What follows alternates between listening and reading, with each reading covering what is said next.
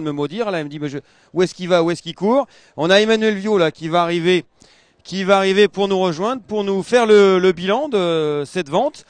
Hier, on a vous le bilan, le, le bilan d'hier, vous avez pu le lire déjà sur francia.com. On était vraiment à un niveau totalement équivalent à celui de l'année dernière. Et cette année, on vient de conclure. Emmanuel, merci de nous rejoindre aussi vite.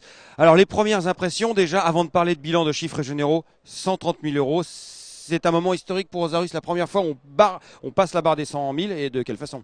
Exactement, exactement. Et non, ça fait d'autant plus plaisir parce qu'on se rappelle les, enfin c'est pas si vieux d'ailleurs, mais les quelques années euh, en arrière où, on, se, on, se, battait à, à, coup de 5, à coup de 5 000 euros. Enfin, on a dû gérer à, à 5 000 euros. Donc, euh, ça fait très plaisir évidemment de passer ce cap, ce cap important. Mais le cap important de la journée, enfin des deux, des journées d'ailleurs, c'était, de tenir une moyenne euh, en, en, ayant mis 30% de chevaux en plus dans ce catalogue.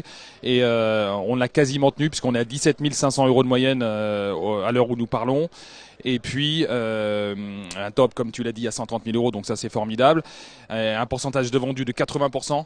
Donc 80%, ça veut dire qu'on est, on est au même niveau, exactement au même niveau que l'année dernière en fait. Voilà, exactement, quasiment similaire, avec des amiables en cours, donc je pense qu'on va augmenter euh, légèrement ce, score. Donc non, une journée très positive. Hier, hier en rentrant, je pensais, euh, bon voilà, euh, j'étais un peu, euh, je suis resté un petit peu sur ma fin hier soir, mais en, en, en analysant les chiffres de la journée ce matin euh, à froid, c'était, c'était pas si mal que ça, et on sentait qu'il y avait encore euh, dans les cours aujourd'hui de, de, de, de, bonnes vibrations, et on savait qu'il y avait encore quelques bons poulains qui étaient, qui, qui devaient passer. Vibra good, good vibration, good vibration, c'est marrant, c'est de musique ça. voilà, non mais exactement, et on sentait que, je pense qu'on on, allait sur une bonne journée, et le fait est, voilà, donc on, on tient la moyenne avec 30% de, de, de, de poulains en plus sur ce catalogue, ce qui, ce était jamais évident. Quand on rajoute 60 depuis, c'est pas simple. Euh, bon voilà, je vais pas me répéter, mais 130 000 euros, ça nous fait vraiment plaisir. Euh, bon voilà. Oui, la lutte entre Tony Ford et Sheikh Johan et Tony Ford qui bat Sheikh Johan, ça c'est pas commun ça. Exactement, c'est pas tous les jours. Voilà, voilà. Non non, c'est voilà, on, on, est ravis, euh, on est ravis. Voilà, on, on, se donne du mal pour que ça fonctionne. On est ravis pour les éleveurs qui nous font confiance.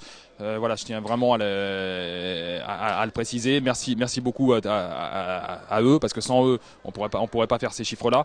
Mais évidemment les acheteurs étaient présents, euh, donc voilà, tout, tout, tout, tout euh, concordait pour que ça se passe bien. Merci Emmanuel, bravo, félicitations. Et maintenant on se donne rendez-vous le 5 et 6 novembre au Lyon-Angers. 5 et 6 novembre au Lyon-Angers, 5 novembre pour la vente de, de Yearling et le 6 pour la vente de store et d'élevage consacré donc à l'obstacle désormais. C'est la nouvelle tendance du Lyon d'Angers. Exactement. Avec euh, pour les yearlings, euh, ça va pas être 100% obstacle puisqu'on a eu quand même une grosse grosse demande euh, et donc on va faire 50-50 à mon avis dans les yearlings. Il y a, des pédigrés d'obstacles évidemment, mais pas ça va pas être 100% d'obstacles pour pour les pour les yearlings en tout cas. Mais bon voilà, on a une grosse demande, mais d'ailleurs pour la deuxième journée aussi, donc on, on va avoir un catalogue fourni. Merci beaucoup Emmanuel. C'est la fin de cette émission en direct de la Test. Dès demain, vous pourrez retrouver le bilan de la deuxième journée avec les anecdotes, les photos, euh, les statistiques et évidemment les vidéos de tous les différés de la vente depuis le début. Et on pourra se repasser en boucle le, passage du, du, du, lot du top price, du lot 262, je crois, à 130 000. Merci Emmanuel. C'est la fin de ce direct quand, quand Tony voilà, des good vibrations. Voilà. Allez, ciao. Bye bye. Bye bye. Merci.